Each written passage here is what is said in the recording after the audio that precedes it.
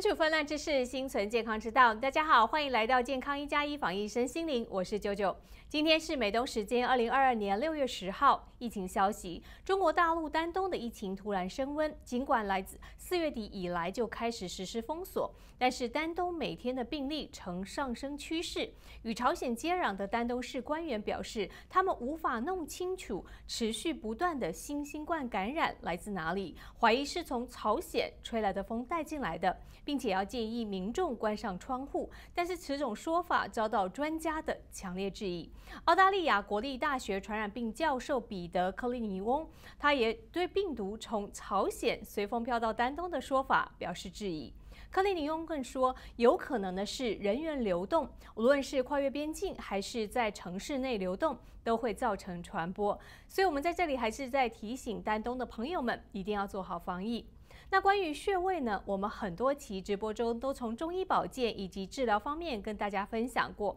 古代人和针灸师傅乘船有很多临床现象，让人觉得很惊奇。其实很难用现代医学理论去解释。而作为主流医学的西医，也是一直对针灸的这个疗效持一种善意的怀疑。但是这些年来，有不少学者对传统的经络还有穴位进行了探测。也越来越深入到微观层面。那穴位是否像古人说的有特异性，还是只是一种想象呢？我们今天将请专家为我们解析。首先，还是关注一下疫情的最新消息。在中共清零政策背景下，上海当局连续三日通报又发现了社会面感染者。六月七号发现两例新增社会面本土确诊病例，六号和五号各自发现三例社会面感染者。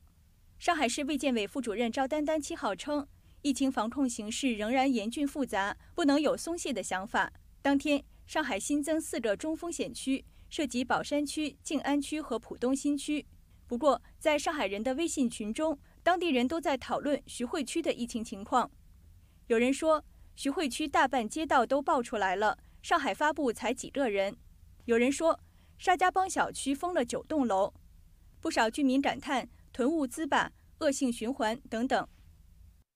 政府现在发布或者新闻了啥个，老百姓已经不相信了，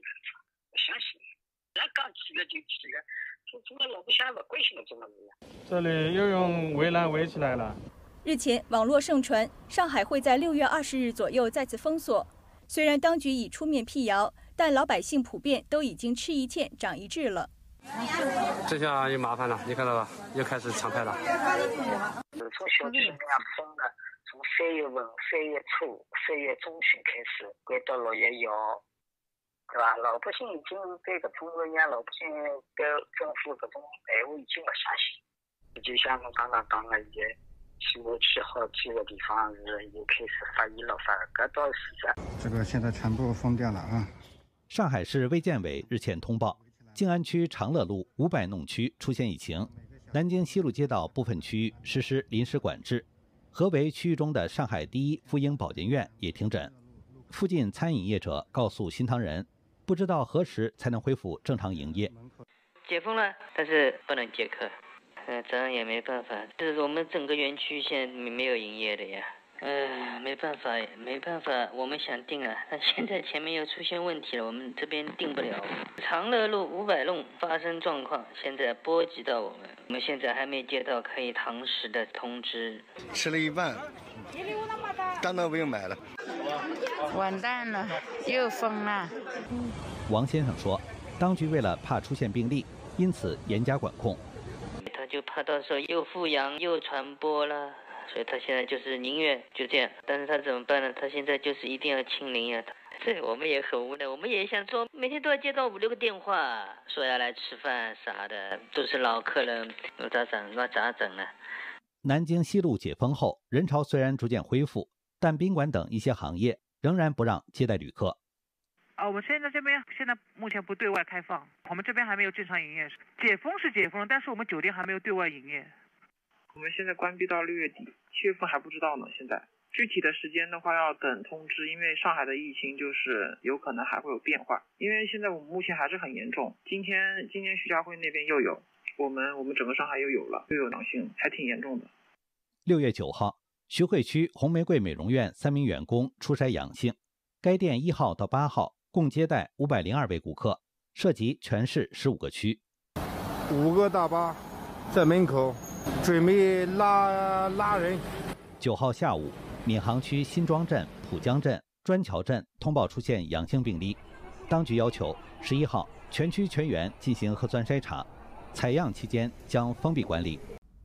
好的，今天的直播欢迎观众朋友加入，您可以在留言区留言跟我们互动。首先介绍今天的嘉宾是加拿大公立学院教授 Jonathan Liu，刘教授你好。大家好。是刘教授，你好。那我们首先呢，还是请您来关心一下哦，目前在亚洲的疫情，因为亚洲 Omicron 疫情在台湾有几起像儿童啊、青少年染疫之后死亡的消息，让人很关注。其中有一个案例让我们印象比较深刻，就是一名八个月大的女婴，她其实本身有先天泌尿系统的疾病，但是因为发烧还有手术造口渗漏，疑似感染入院了。经过手术急救是无效的，但是他裁剪新冠就是阳性的。第二还有另外一起是十五岁的男性，他曾经接种一剂的新冠疫苗，完成七天居家护照护之后呢，返回到学校去上课了。但是突然间昏倒，送医抢救不治死亡了。那死亡诊断为病毒性的心肌炎合并急性肺水肿、心因性休克，而且包括新冠病毒感染。目前这些儿童啊、青少年染疫也让民众相当的关心。我们认为就是青少年免疫力啊、健康状况都会比一般的成年人好，为什么会发生这种严重的染疫死亡呢？可不可以请刘教授为我们解析？对的，这个我觉得案例挺可惜的。最近我也看到一些，特别在台湾有一些这种案例发生。这个欧米克戎呢，整体咱们看到，其实在确实它的致病性啊在趋缓，是吧？虽然传染率在增加，但是它的呃导致死亡的这个这个几率啊，这个比率在下降啊。加拿大这边也是，呃，今年我看到六月份刚刚有个报道说，这个首次的这种呃治病啊，就是这个。包括病死率和致病率啊，达到这个历史的最低。但是呢，其实我们还是有很多个案呢，让人比较担心啊。刚才你提的那个例子也是，呃，为什么出现这种情况呢？实际上，我们看一看古代呀，这个清代著名的这个医家叫叶天士啊，又叫叶香言，啊，他是非常传奇的一个医生啊，非常高明。呃，他当时对这个瘟疫啊，因为这个清代啊，当时也有这个瘟病发生啊，其这个明末清初的时候，呃，当时这个类似现在这个病毒啊，当时这个叶医生呢就总结了这个一句话，他叫瘟邪上受，首先犯肺，还有一句话叫逆传心包，就说一般的病毒啊侵犯人体之后呢，如果你的呃这个免疫力正常，它基本上先侵犯肺部。然后呢，可能是传向什么大肠，因为肺大肠相表里。再一个，从这个大肠，因为胃和阳明经啊都属于一个系统，那么再传到阳明啊，呃呃，在阳明经这个这个阶段呢，人体就充分发挥它的免疫力，很多时候出现高烧，那么来对抗这个病毒。但是啊，有一句话逆传心包，就是说什么呢？如果这个人他的免疫功能不不是那么太强壮，他就不可能顺经传，就说你的。这些防线最后都失守，最后呢，直接攻到我们讲的这个君主之官的心呃脏。其实心包呢就是保卫心脏的，那么这个心包一旦受损呢，实际上它的相当于心脏本身也受邪了啊。因为在这传统中医的认为，这个心一般不受邪的，受邪的话肯定就是要死亡。那么一般用心包来代替心脏来呃这个说法。所以逆传心包这句话，它的潜台词是什么呢？就是你的免疫功能，你的呃内在的正气虚弱了。所以说呢，在这个病毒侵犯的时候呢，不能够你的防线都失守，最后直接攻到你的怎么样王城啊，就是心脏。最后呢，就出现这个我们看到现代医学报道的急性肺炎呃心心肌炎，包括伴有急性的肺水肿，再一个心源性的休克。实际上，你的心脏功能、心肌细胞大量坏死之后，那必然就会出现肺水肿啊，这些心源性休克。实际上，一个关键问题，我们就认为呢，还是一个正气虚的问题。这个正气虚呢，当然我们也在节目中啊经常分享啊，这个正气啊、真气啊，为什么会虚呢？实际上，在这个我们看到，在古老的《黄帝内经》就说这样一句话，他说：“真气者，所受于天，与骨气并而充身者也。”这句话呢，说起来文绉绉的，实际上就是说白了就是什么呢？这个真气从哪来呢？真气一个是从我们这个五谷杂粮，你说吃东西，后天我们这个得吃东西是吧？那么这些呢得到能量了，啊，这是一部分来源。同时呢，我们身体有这个经络系统啊，经络系统特别是我们讲的任督二脉的循环，在传统这个中医和道家修炼，这叫什么呢？小周天。这个小周天的循环呢，它之所以能够呃形成一个这个我们讲的能量流，实际上真正的动力在哪里？在下丹田啊，这就是真气储藏的地方。但是保持这个下丹田的这个真气元气，它的强壮就非常重要。怎么样才能保持呢？实际上还是回复到传统的那种文化强调的叫清静啊。我们讲的现在社会，你看这个青少年，我周围的我们看到很多年轻人呢，这个放学之后呢，很多都是什么玩游戏啊，在游戏厅一坐半半天啊，可能很长时间，再一个熬夜。啊，经常不规律的啊，经常这个后半夜还在这个网上敲啊打电脑，实际上这些这个生活方式呢，对这个真气元气都是有伤害的。相反，你看古代呢，它都很多这个文娱活动都是怎么样，陶冶情操，赏心悦目，在人的松和静的情况下，你的元气才得到最大的保存，至少消耗减少。但现在不是，现在消耗太多了，所以呢，我就在这里建议呢，就是咱们这个真的。呃，包括家长朋友啊，如果有机会的话，你还是给自己的孩子啊多看一些有益身心的视频、音乐和节目，减少那些暴力游戏啊这些东西啊，对孩子啊其实身心啊都没什么好处啊，没什么好处。所以这也是在疫情中为什么我觉得有些呃小孩出现这种让人呃觉得非常啊痛心的例子发生啊，就是他的元气、免疫功能。啊，不是那么太强壮，造成的病毒啊长驱直入啊，侵犯我们的心脏啊。嗯，是的，刚才刘教授讲的真的很有道理。因为其实现代人不要说青少年，有时候现代人生活不是正常的时候，也经常的熬夜。也许不是熬夜看打电脑啊，但是熬夜工作啦，这也是一种对身体有损害的。不过您刚才提到，就是尽量看一些正面，青少年他们的活力比较充沛嘛。其实我有一个网站想要推荐给大家，就是我们之前一直讲的神韵 creations.com 这个网站，里面有很多也是青少年，都是一些十几二。二十岁有很多的，包括舞蹈啊，他们自己在训练的过程啊，他们怎么样启发、怎么突破自我的，都是很阳光的。所以我想借这个机会也也分享给大家。那其实刘教授刚才我们开场的时候有谈到，就是针灸有很多对于现代人来说是算是传奇的这种临床故事，但是有不少人可能提出一些疑问，说，哎，这些案例只是个案啊，或者是说，哎，这只是偶然侥幸取得的效果，很难有强大的说服力。那因为现代科学要讲实在的这个证据，所以刘教授针对这个问题，我想请问您是怎么看待的呢？对这个，实际上我们在来在西方呢，你做针灸也会遇到这种主流医学啊对这个针灸的一个质疑，这个我们也遇到很多。但是呢，当然在主流医学中也有很多这个医生呢，他的思想是比较开放的，他比较接受这些。但是在这个理论阐释上，他们很多呢，他们也你看很多物理治疗师，我看了他们也做针灸，但是他们针灸，他认为这个理论呢，我就是用这个神经肌肉来解释，对不对？你扎的，比如说这个穴位合谷穴，你就扎上了，比如说涉及到这个桡神经，是不是？我就用神经来解释这个它的机理，对不对？用肌肉，特别是现在发展什么这个扳机点理论呢？用肌肉这个扳机点理论来解释很多这个针灸现象。但是这个能不能全部解释呢？啊，我觉得就是能解释一部分，这是肯定的。但是呢，不能全部解释。我给大家举两个例子啊，呃，这是我临床的这个亲身经历的啊。你比如说这个有一个原来有一个先生男士啊，他突发这个坐骨神经痛啊，在办公过程中啊，这个出现这个我们讲的从腰啊臀部一直放射到脚后跟的这个坐骨神经受到刺激了，那么引起的疼痛，哎，我们知道这种坐骨神经痛就非常的怎么样，呃，痛的程度非常高啊，有的说叫如果按那个疼痛的那个我们讲的疼痛标尺的话啊。那么它就可以达到呃这个十啊，甚至有的说十二啊，比如说十是最高了啊，他说我到十二了，就痛的难以忍受，甚至有些就是说呃走路都走不了了啊。我这个同事这个呃患者朋友他就是被他同事推过来的啊，推过来的，推过来之后呢，实际上我们当时因为他是急性发作嘛，我们当时选了一个穴位就是什么风池穴。我们知道这个风池穴呢，其实我们在节目中也分享过，它是胆经的第二十号穴位啊，就是在我们这个颈部，对不对？在这个颅底的部位啊，就是二十号穴位，给他风池穴呢，给他扎上之后呢，不断去捻转，同时呢，让他先坐在床上，慢慢的他就可以怎么样下地就活动了，然后呢，这种腰臀部包括他的放射痛啊，就慢慢消失了，而且患者都特别吃惊，他说这个怎么那么快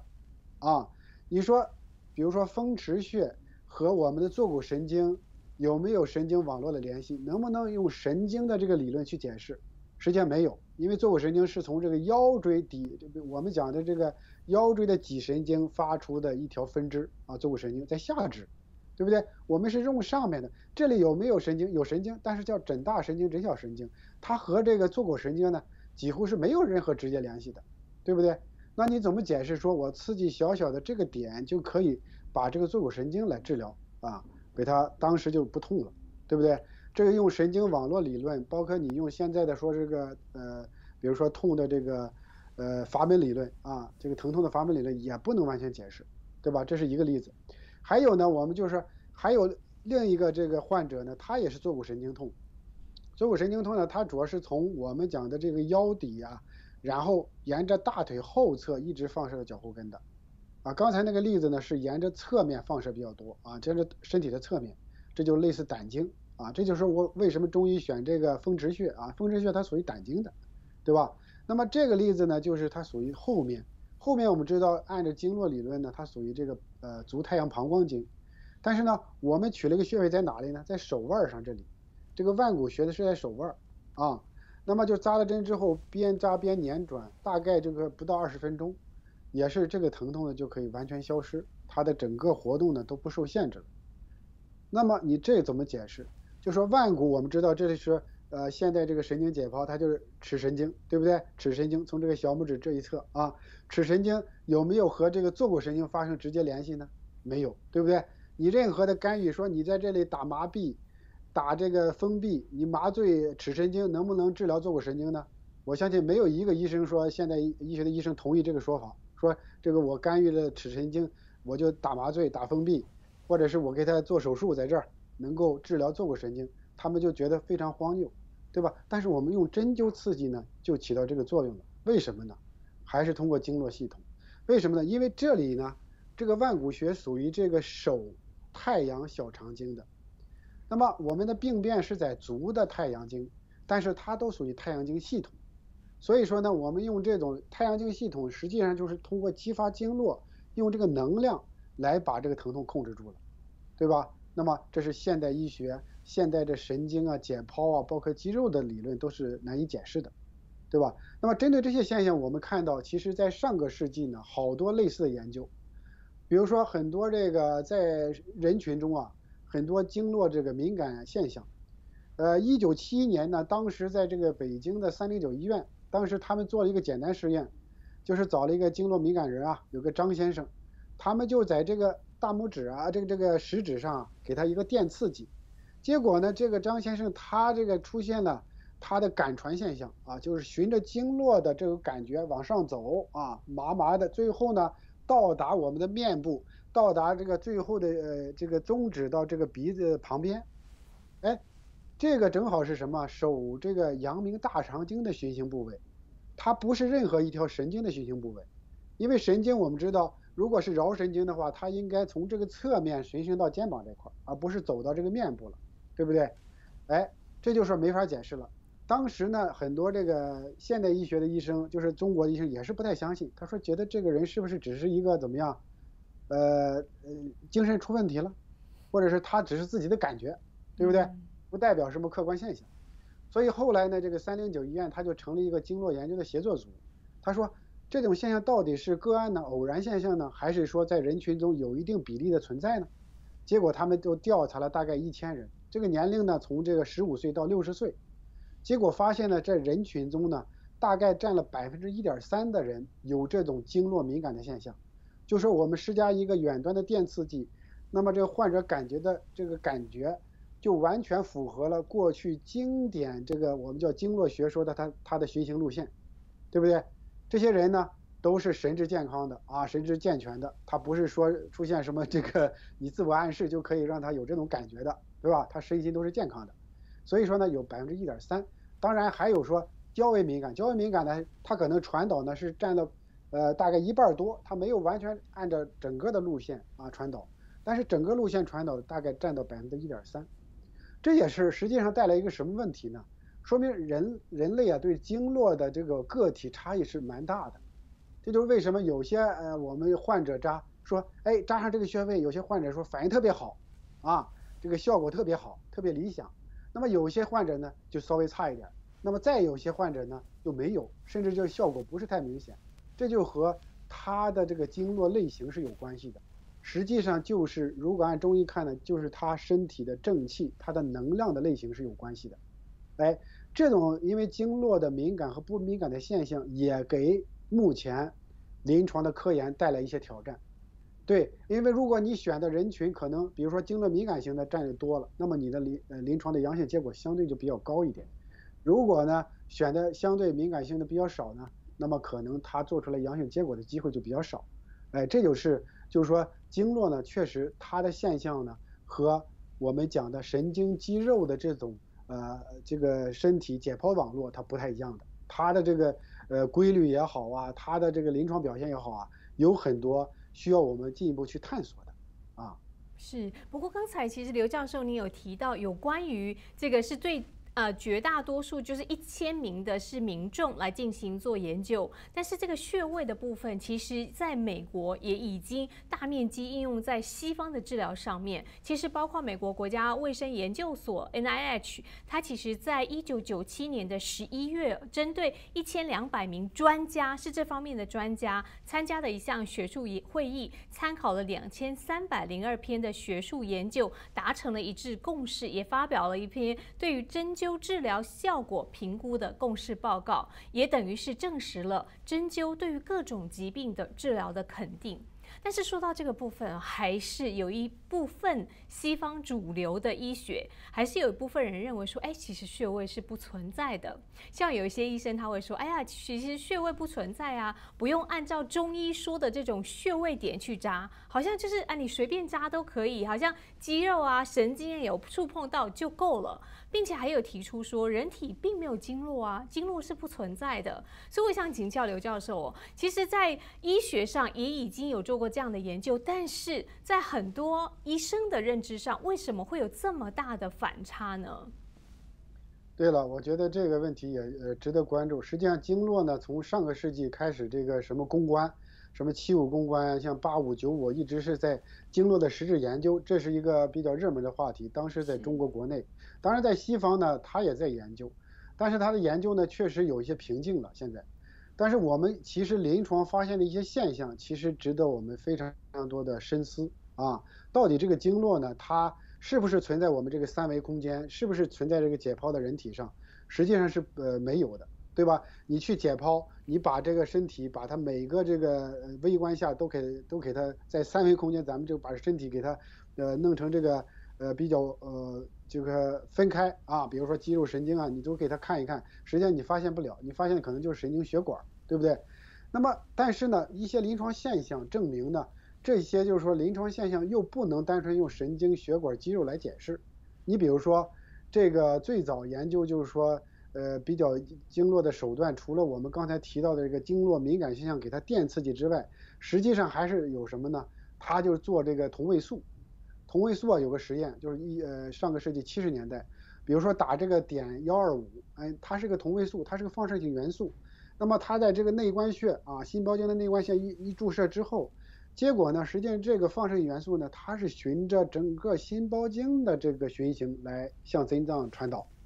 对吧？而且它分析啊，这个心包经这个循行线上，它的同位素的密度是最高的。相反，旁边啊非这个心包经的循行线上，它的密度就比较少啊。这就呃就是说，大家要打个问号，就为什么这些呃经典的经络行行线上是有，它也不是单纯的神经，对不对？这是第一点。再一个呢，现在因为我们知道这个经络呢，我们一般中医从气的角度来给它分析，是吧？这个比如说气滞啊、气虚啊，啊，从这个角度啊，比如说真气啊、正气这些，那么它是实际上是个能量的形式。那么现在比如说，呃，对这个经络和穴位的研究有很多了，呃，比如说这个人体这个红外线，其实人体呢，我们看到肉眼看不到，人体其实是有红外线的啊，在不同的体表它是有分布的，它向外放射。那么现在呢，以前的红外线探测呢，它没有特殊的仪器，你看不到，对不对？那么现在呢，有了这种红外线成像仪，那么就对人体进行探测，就发现呢，实际上在红外线探测健康人啊自然状态下，发现某些区域啊有一些高温带。那么这些高温带温度相对比较高的，那么这些循行带呢，和经典的经络循行线是大致相同的，啊，这个他观察了大概说，呃，这个几十例，这个发表在二零零四年的中国针灸杂志上，啊，这是张栋这个先生他观察的。那么同时呢，其实，呃，包括陈立啊，对六十例健康人体表红外线的观察也发现类似的状态，啊，就是说。比较典型的循行，这个呃，沿着红外线去循行。当然，其实除了这种我们讲的红外线研究，其实类似的研究还有很多了啊。那可不可以请刘医生先跟我们介绍一下穴位位置的立体解剖研究？因为这些穴位是如何被科学家证明跟古老穴位的，就是古老医学的穴位的对应是真实存在的，而不是现在人所认识，哎呀，我随便扎针都可以。比如说这个人体穴位。呃，到底有没有特异性？因为刚才提到了很多这个西方的，他如果单纯用神经肌肉去解释的话，他说，你说这个地方是足三里，对不对？那么我说旁边足三里旁边我扎一下是不是行？对不对？你这个穴位如果穴位失去了它的特异性，在这个至少呃，比如说在解剖层面，在形态学层面没有任何特异性，他就认为说你这个经络也不存在，对不对？那只是就是神经血管可以解释所有的生命现象。啊，那么跟针对这个问题呢，其实还有一个研究，就是针对这个我们讲，呃，叫说穴位的形态学研究，啊，这个形态学研究呢，它是这个二零一三年有篇论文，啊，就是这个发表在这个当时是复旦大学啊、上海第二军医大学和上海这个应用物理研究所，他们用着什么呢？就是同步辐射的啊 X 线相位对比这个 CT 成像。来研究这个穴位，他选取了什么呢？就是这个兔子啊，兔子我们知道，其实现在西方他也承认，就是说这个兽医也可以做针灸的啊。兽医如果就是说你呃考到执照的话，也可以给这些呃比如说小狗啊、小猫啊、兔子呀扎针灸。确实有些痛症啊，包括很多这个呃创伤啊，哎，它扎针灸呢就起到很好的效果啊，比这个给药注射药物效果还快啊。所以说呢，他选取用兔子来做。做的选取的穴位点是什么呢？两个穴位点，一个是这个足三里穴啊，足三里穴我们经常在节目中提啊，它就是一个合穴，足胃足阳明胃经的合穴，同时又是什么呢？我们讲的四种穴之一啊，就是这个四个这个全身在三百六十多个穴位中啊，四个大穴。那么这是足三里，再一个呢，它选取了这个足三里下边的大概三四个横指三寸的距离的叫上巨虚穴位啊，都是属于阳明胃经的穴位。他来观察，从形态学角度来观察，到底比如说这个足三里上巨虚和其他在足阳明胃经这个非穴位点上，它的形态学有没有异常？结果呢，我们看到刚才那个图，实际上就是发现了异常，就是说你看到这个柱状图，实际上它类似这个呃我们讲的这个立体呃成像。呃，这里要稍微补充一点，因为一般的 X 光，呃，我们看到这个，比如说你做这个肺部的透视或者肺部的 X 片儿它是呃就是呃两维的，而且呢，我们知道这个皮 X 光啊，它这个 X 射线呢，它对这个软组织的分辨率几乎是非常差的。我们看到这个，比如说你肺部，你经常看到很多肋骨白白的啊，然后这个肺肺组织呢一片漆黑。你也分不清里头是肺泡啊，什么血管、毛细血管还是神经，你分不清的，对不对？但是这个呢，它用了这个同步辐射的啊，X 线的对比 CT 成像，通过这个结合 CT，又可以把这个像呢，这个得到的影像呢，作为重组，重组之后呢，作为成 3D 成像，所以就能观察到它细微的软组织结构。结果他发现什么呢？在足三里和上巨虚，就是这个呃图像上的这个 B 点和 E 点，它是。它的这个微血管分布呢，它的密度呢，大大高于非穴位点。哎，这个从形态学上就证明了，实际上这个穴位点和非穴位点它是不同的。就是那些非穴位点，它的毛细血管的这个密度实际上是比较小的，相反穴位点这个地方呢，毛细血管的密度就比较大，啊，就证明了它的这个特异性。后边呢，它还有个图，完全就是说呃展示啊，这个 A B C D E F 这几个点，其中只有 B 点和 E 点，它的毛细血管的密度是比较大的啊。横轴呢，它就是按照这个在足阳明胃经上分分布的位置啊，比如说从这个 A 点，它是在这个足三里上面这个点，也是属于阳足阳明胃经的。那么 B 点呢，就是属于足三里这个穴位。那么 C 点、D 点呢，都是属于非穴位区。然后到 E 点是这个我们讲的这个上巨虚，然后 F 点呢是在下上巨虚下边这个点，但是呢也是非穴位的呃点啊。那么我们看到它经过这个呃测量毛血管的这个密度计算之后呢，只有这个 B 点、E 点这个穴位点，它的毛血管的密度比较大，因为它这个纵轴呢就是代表毛血管的它的密度叫 density 啊，就是 vascular density，就是代表毛血管的密度。当然，你这密度大呢，实际上就说它的特异性表现在你给它施加一个刺激之后，那么它对全身的血液循环也好啊，它就产生一个良性的刺激。你像足三里穴为什么能够健脾啊？为什么能够这个强化这个消化功能啊？包括起到增强免疫的功能呢？那么在形态学上来讲，它毛细血管丰富的话，它可以激动我们全身的血呃运行啊，激发呢，比如说血管内分泌的这些免疫反应。哎，这也从形态学上从一个侧面来解释了足三里和上巨虚它有它的特异性啊。嗯嗯。他还做了一个呃，比如说三维的立体图像啊，彩色的。下面那个穴位呢，就是它三 D 重建之后的，就是我们看到在这个 B 点和 E 点，它的这个重建之后，它的血管的分布的密度也是高的啊，比其他点都高。这就从形态学证明了这个穴位点它是确实存在的。穴位点像足三里、上巨虚有它的特异性。啊，古人呢并不是乱乱讲乱说的啊，因为过去呢我们研究这个解剖啊，穴位解剖，你看很多穴位解剖书，它都是叫叫什么呢？就是在尸体上，啊，比如说尸体上它解剖之后呢，你看到也就是看到呃从这个表浅从皮肤到肌肉再到神经血管，它整个的一个图像，但是呢它和活体上看到的人体的反应是不一样的，因为在人体死亡之后呢，很多毛血管怎么样塌陷了，你看不到了，哎。那么恰恰恰在活体上，像这个兔子活体上，它能看到这个，呃，就是说毛细血管它的密度，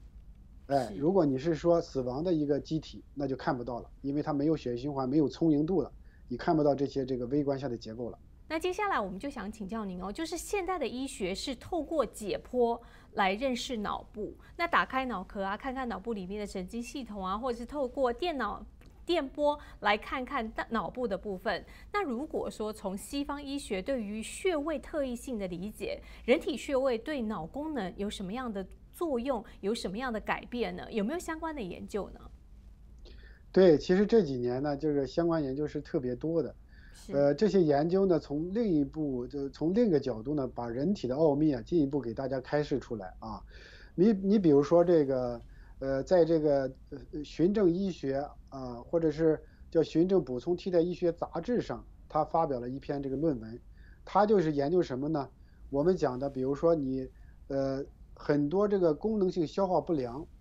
我们叫这个呃 functional 这个 dyspepsia，就是说功能性消化不良呢，这些患者呢，他表现什么症状呢？比如说经常这个食欲不好，吃东西啊胃胀啊难受，甚至出现嗳气啊。那么有的人呢出现这个大肠的活动异常，比如说有些人出现这个容易腹泻啊，那么这些功能性消化不良呢，呃，那么它的这个临床效果啊，针灸就特别好啊，得到了就是说东西方的一些认可啊。我们看到其实我们在临床也观到观察到很多啊，通过针灸啊一些穴位刺激啊，就得到非常好的反馈。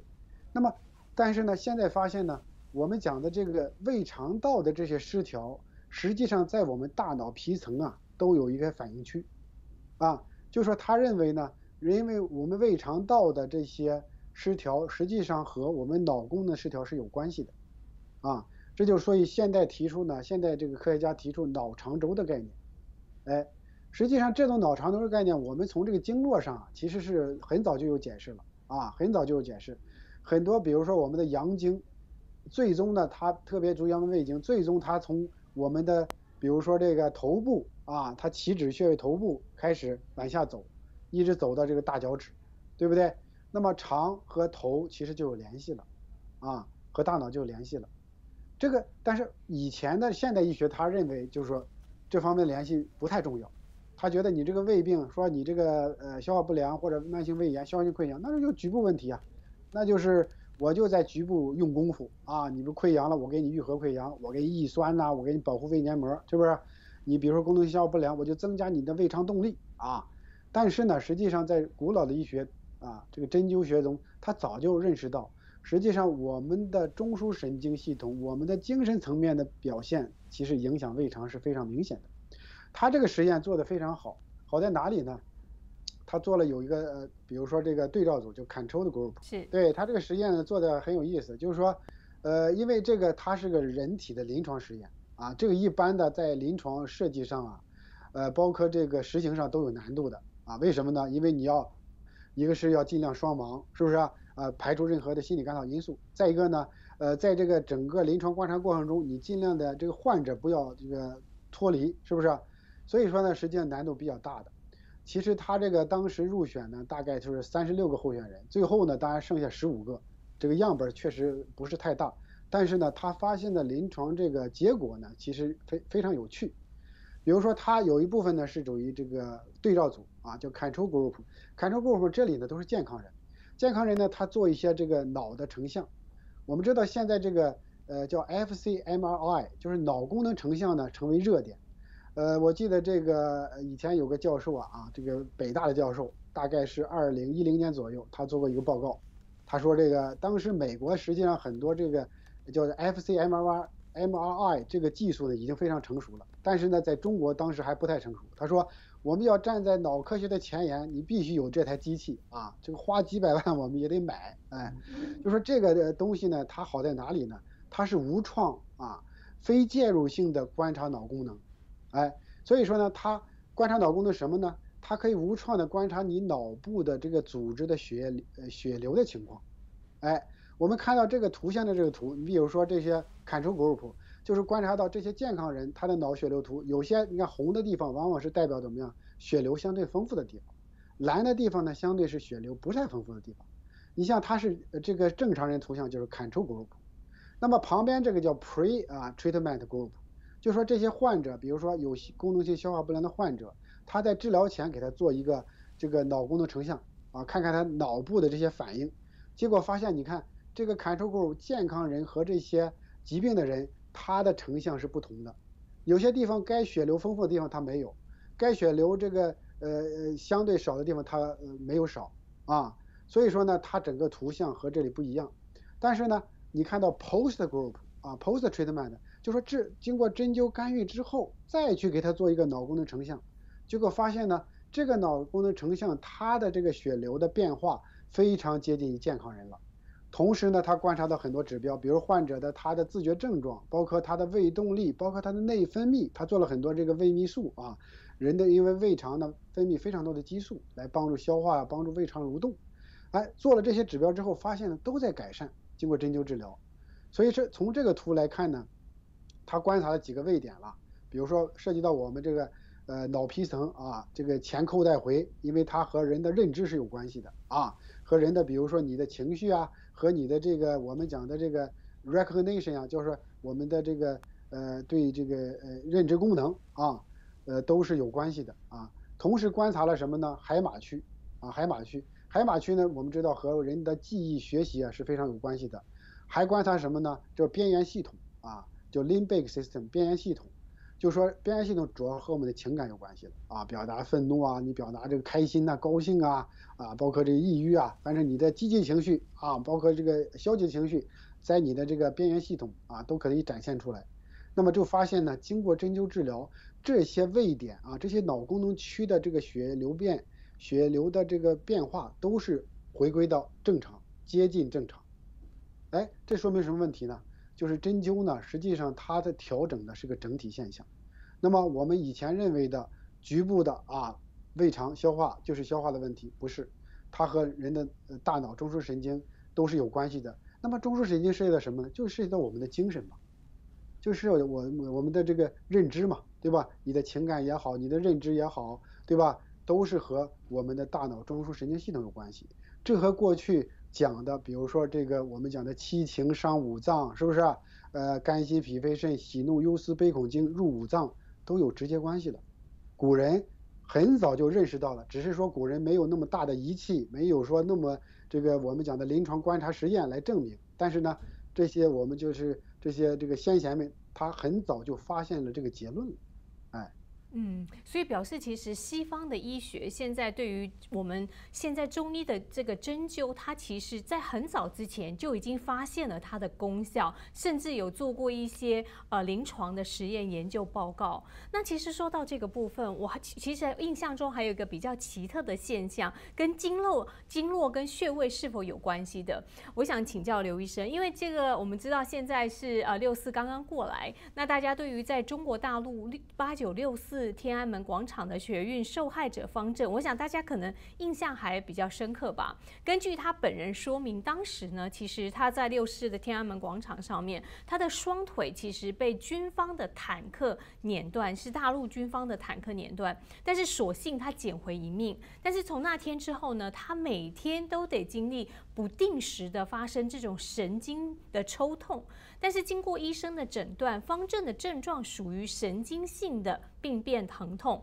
里的这种叫幻肢痛，也就是说，患者仍然会在已经截除的这个肢体部分感到痛楚。那其实幻肢痛又称为这个肢幻觉痛，也就是说，患者呢他感受到被切断的肢体还在。而且在这个地方呢，还发生疼痛，所以我想请教刘教授哦，这个是蛮奇特的现象，为什么患者在截肢的情况下还感觉疼痛？那中医怎么来看待这个现象呢？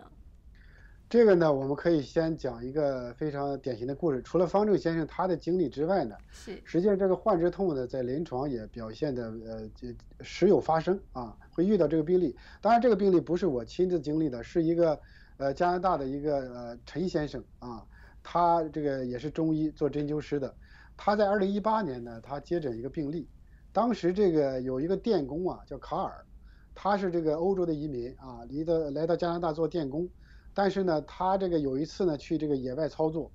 呃，爬到这个电线杆子上啊，爬电线杆子上，本来这个比如说高压线出现断电了，他就把它修复好，修复好之后呢，他有有个伙伴嘛在下边。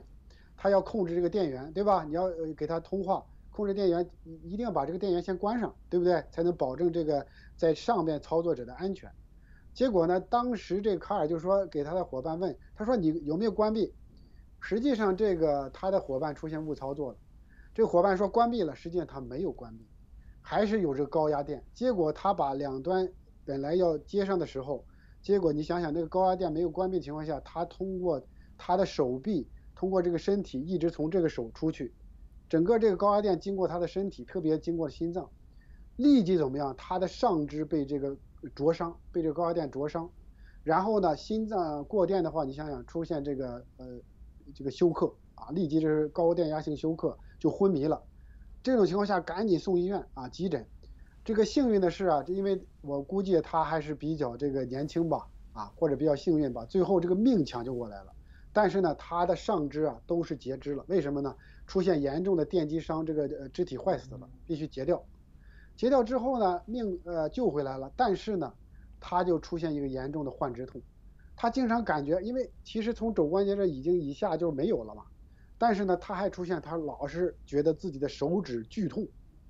就说医院方采用了很多办法，比如说这个止痛剂啊，口服的药不管用，后来怎么样？注射啊，注射这个吗啡也不管用。啊，就特别厉害。后来就找到这个陈中医师，当时呢，就是说他这个呃采用的局部取穴法啊，就是说，比如说断肢，咱们就断肢嘛，咱们这个呃虽然你感觉手指痛，但是我扎你的断肢的断端，对不对？我扎你的肘关节这块儿啊，扎肘关节这块儿，扎了这个效果不好啊，一直呢就是说他也比较这个中医师也比较沮丧。那么那个那个卡尔呢，他也确实比较痛苦啊。后来结果有一天呢，呃。这个卡尔在叙述病情的时候，他就说了一个现象，他说我当时呃当这个我出现这个疼痛发作的时候，我的这个呃面部呢也会出现异常反应，又麻又痛啊不舒服。哎，这个面部这块不就是这个胃经走行吗？从这个嘴角啊阳明胃经啊，第四号穴位啊，第三号穴位啊，然后全料，然后再到这个我们讲的四白穴啊，再到这个承泣穴，哎，正好这个循行路线，这一下子给这个老中医有个启发了。他说我为什么不能取下肢的穴位呢？哎，正好就说他扎了一个足三里，哎，就是单单这一个足三里啊，看起来非常那么小的，好像小不起眼儿啊，这个一个穴位一个点，结果呢，卡尔的这个患肢疼痛啊立即减轻，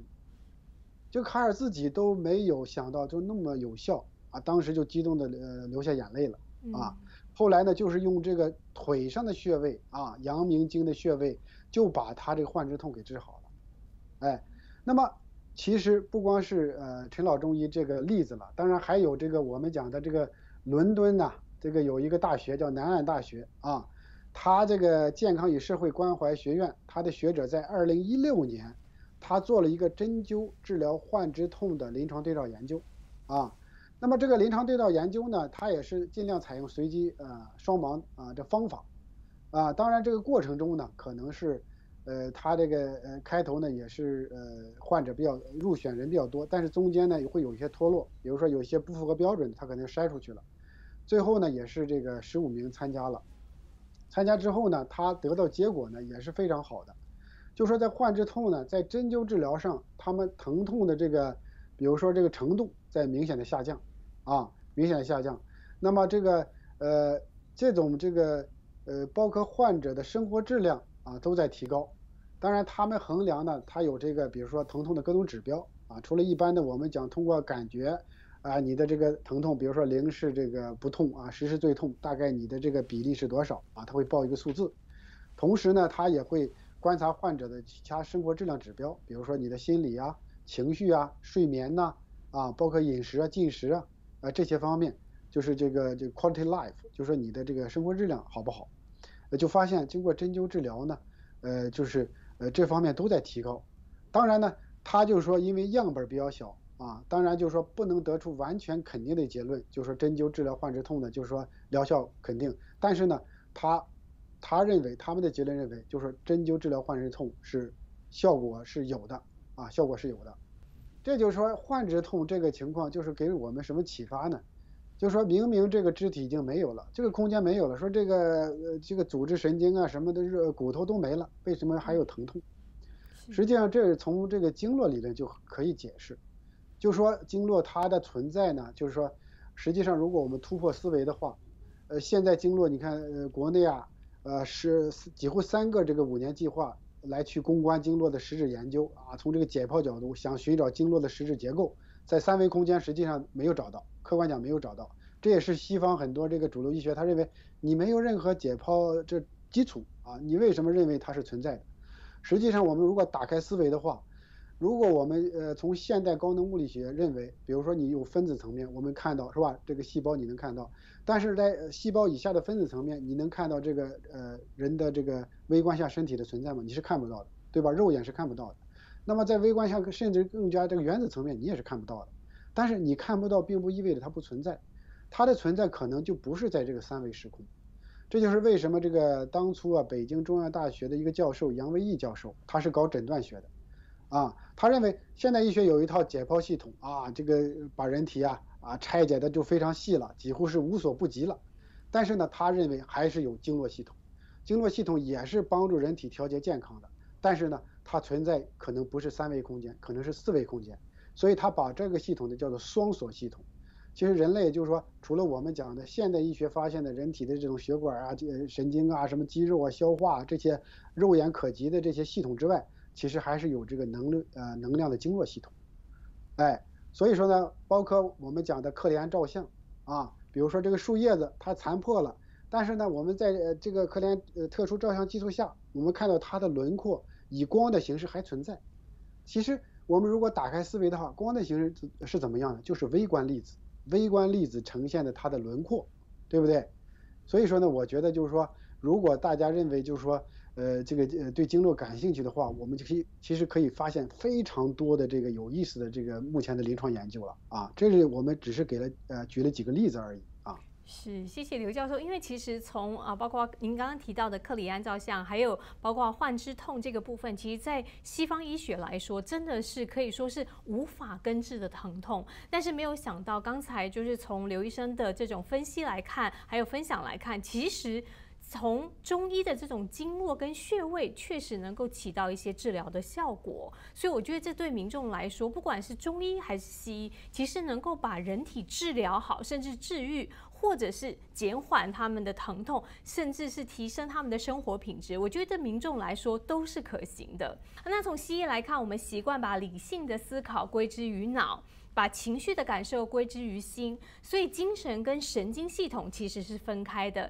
但是早在两千五百年前，西方医学之父希伯克拉底就认为说，人类的喜怒哀乐和思辨的能力都源自于大脑，也就是说是心智合一的。在十九世纪神经科发展蓬勃的欧洲，著名的学者像阿兹海默医生，都是兼具神经科还有精神科与神经病理专长于一身的。所以从我想请教刘教授，如果说从传统医学来看，精神跟健康的关联，他们到底在哪里呢？从传统医学怎么来看呢？呃，传统医学呢，实际上你看传统文化中啊，一直强调呃强调这个问题，比如说这个我们讲的这个形体和神呢要合一，这样才能最健康。其实我们看到这个中华的这古文字它的创造啊，呃，过去讲这个精神精神。呃，现在呃，光归结到什么意识了啊？人的想法呀、精神呐，或者我们讲的这个，呃，你的这个呃精神也就是想法啊、意念这方面。实际上，精神呢，在这个古代这个文字中呢，它实际上是两个方面，但是又是有呃非常有机的紧密的联系。精呢，实际上就是我们讲的这个呃呃精气神的那个精，就是呃人体的非常珍贵的一些原始物质。啊，这些精呢，就是说来自于，比如说有先天啊，我们讲的父母之精啊，遗传这方面的精华。那么还有呢，后天啊，自己的身体呢，在这个过程中储存的。实际上，这中医归结到肾脏，因为肾呢，它是这个主收藏的，它把人体啊，你比如说你后天吃东西，很多精华的东西，实际上存在的下丹田啊，就是这个我们讲的元气的位位置，对吧？真气的位置。那么这个就是精。那么精呢，其实它是化气啊。古代那个气字呢，它不是空气的气，它是一个无啊，一个类似下面一个四点底，实际上就是一个什么呢？一个这个我们讲的能量物质啊，能量物质。那么在这个精气的情况下啊，在人的精气比较强壮的情况下，人的神，那么我们神呢就代表我们的，比如说包括我们脑的功能啊，你的意识啊、思维，那么才强壮。如果精气呢比较弱。那么你可以就会变变得怎么样呢？就是没有神，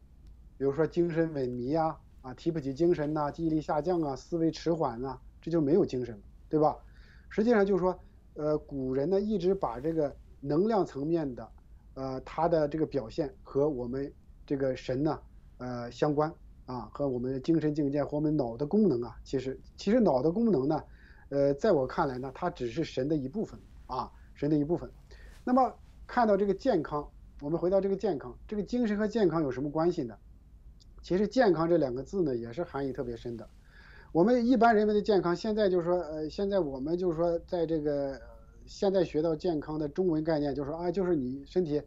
包括几个层面，你可能这个体力比较健康啊，身体没有病啊，精神方面比较健康啊，就是精神反应啊、认知啊都正常。再一个，你社会交往能力比较健康啊，这就是这就是世界卫生组织啊。他给健康的定义啊，三个层面。但是呢，在古人来讲啊，这古文字来讲，它是健是健康是康，实际上是不太一样的。健呢，它这个造字的时候呢，它比如说这个健字边加上人字边，它呃其实就是说表达一种什么呢？身体是有力的状态啊，就是说你身体强壮啊，有力，你的能量比较强。所以我们讲的，比如说这个。你像这个造字，它这个加上月字边叫做腱子肉啊，腱子肉就是类似我们讲的这个肌肉比较发达，还有包跟腱，人的跟腱的地方呢，特别肌腱的地方其实是非常强壮的啊，就是代表有能力和能量。这个康呢，不不单纯是现在我们讲的这个呃康健的，好像健和康没什么区别了啊，它俩是同一这个复用，实际上不是。真正的这个古文字的康啊，你在《尔雅》中看啊，它有个释公，他说一达谓之道路，二达谓之岐旁啊，三达谓之巨旁，四达谓之渠，五达谓之康，那么六达谓之庄。这就是说，康庄大道这句词儿从哪来的？啊，康庄为什么呢？就是说，五达的意思就是说道路要通畅，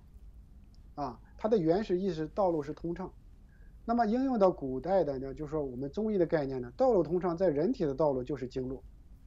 就说你经脉要通畅，不能阻塞，那么你能量运行才比较怎么样？呃，达到健康，那么身体才健康。其实这就涉及到我们讲的这个经络的十二正经和这个七经八脉，特别是任督二脉啊，古人提到的这个小周天呢，啊这种循环，如果你这种循环，那么它是一个呃康的状态啊，比较通畅的状态。你就身体就比较健康，啊，实际上它还是涉及到怎么样微观的能量层面真正健康。那么和我们刚才提到的精神，它就给大家一个启示什么呢？实际上我们不光是说你解剖层面，你解剖层面就是说呃好像没有病就可以了，实际上它和我们微观的能量，它的健康是息息相关的，和人的精神。这微观能量呢，它也是物质的，啊，也是物质的。就是刚才我们提到的很多的现在研究经络能量的现象，包括我们讲的红外线呐，包括我们讲的同位素注射呀，包括我们讲的穴位的它的一些特异性的一个解剖啊，包括甚至现在研究到每个穴位它的生化反应和非穴位是不一样的，啊，就是说这个层面，那么人体解剖三维这个层面，那么和更微观下的经络存在那个层面它是有联系的。我认为就是我个人观点认为它是类似一个镜像的关系。它是有连带关系的，所以我们刺激这个空间的这个穴位啊，虽然是这个呃这个三维空间，但是它的微观下的空间它是有干预作用的，它是有调节作用的，哎，所以说这就回到我们这节目的主旨身心灵，啊，刚才我们提到这个精神层面啊，包括这个脑功能的它的一些呃血流的改变，其实就是代表你精神层面的一些变化，就会影响你物质身体的一些功能啊，就会影响你的消化功能，是吧？所以说呢，我们就强调，啊，还是就是说尽量的在疫情期间，我们还是鼓励大家心情怎么样，要宁静啊，要保持一个良好的心情，